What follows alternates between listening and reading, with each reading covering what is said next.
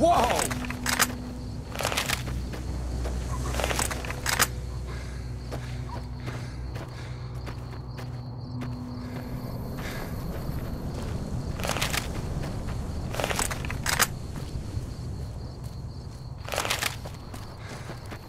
You lost?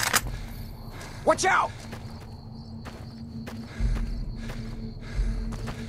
It's a real uphill fight these days. I'm not sure how we're gonna handle all these convicts.